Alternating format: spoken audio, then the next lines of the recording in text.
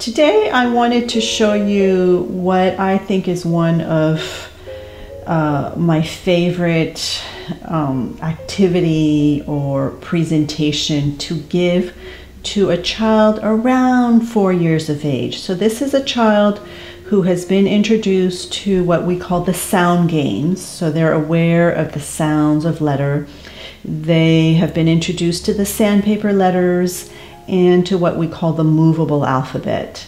And now this is the first object box with phonetic objects. And so the child, we're going to examine all of these items and then I will show you um, the presentation. But there are two ways of doing this. One is with um, what we call the teacher's writing tray or the guides, the adults uh, writing tray, but you can also um, prepare some pre-printed labels to match these objects as well so the child can repeat uh, alone. So this presentation that I'm showing you today is really the very first one where the adult is engaged with the child.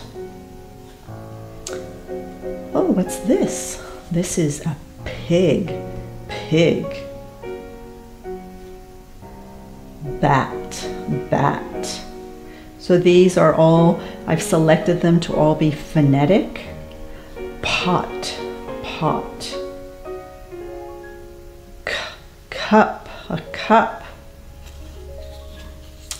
Hat. And a top, top. So we just explore what these are with the child and then I'm let the child know that I am going to write them a little secret. So the, the um, adult is really has strips pre-prepared, uh, pencil and scissors. And I'm actually going to write one of these objects and let the child read it. So we really want to um, pretend we are writing a secret, so kind of, you know, play up the fact that we don't want them to see. I cut up a small piece and fold it up and let the child have it. The child will then open it up.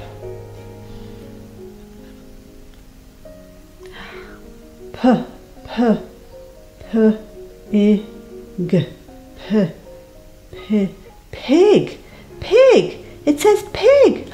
There's the pig. Oh my gosh. And the why i just love this presentation is because this is the first time that the child realizes that they can read and how the written language is this silent communication where we can give messages and they're really putting together the the sounds that they have been learning and acquiring and it's just so beautiful to see this child be mesmerized with figuring out the what all these symbols are and that they can actually read so then i would go on and really write out each of them and to match them up. And then, as I said, for the child to really do this work independently, there would be a little pouch with uh, pre printed labels that they can match up to. Um, and they love this work, and I would recommend to change out the objects um, often so that they get new ones, and then later on there will be more uh, complex words uh, to do. So this is the first object box for about a four-year-old child. It can be younger, it can be older. It's really where they are out in their uh, reading development.